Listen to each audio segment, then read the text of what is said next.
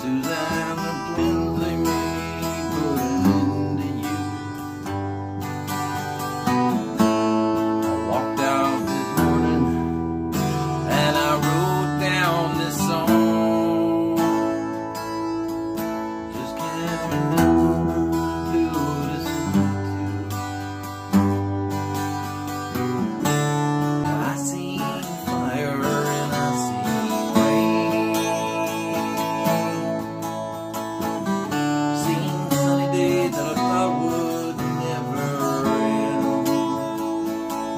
see